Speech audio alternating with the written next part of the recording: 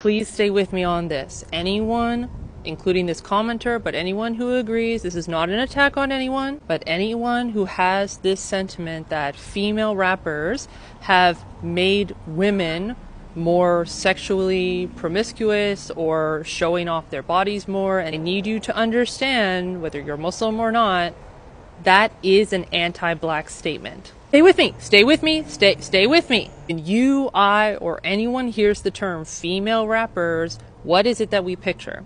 I guarantee, don't lie, I guarantee that you think of black women. Now, if we were really being honest, we know that throughout history, over the centuries, over the decades, long before rap music ever existed, long before female rappers were mainstream or popular, women have been taught by society, by their cultures, different reasons that are all nuanced and complicated and situated in history and movements of politics, very complicated stuff. We need some sociology PhDs to come in here and like talk about it which is not me.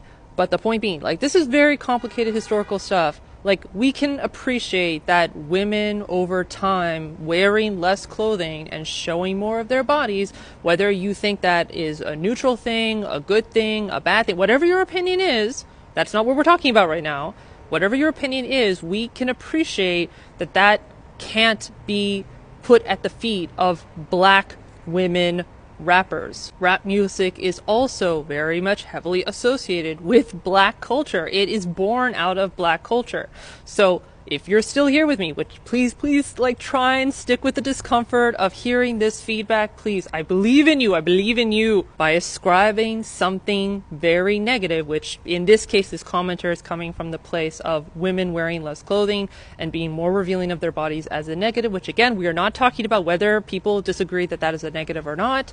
The point being is that by putting this negative quality at the feet of black women or something else at the feet of black people when we can like just do a little bit more critical thinking to understand that of course it's way way way bigger than that that by putting it at the feet of black women that is an anti-black racist statement because we are picking out black people and putting something that is their responsibility, which absolutely is not on them. Anyone who has been following my page for any length of time will know I try to be very clear that on this page, we love, we stand black women. Black women are unspeakably amazing. I am constantly in awe of black women, all black women from everywhere.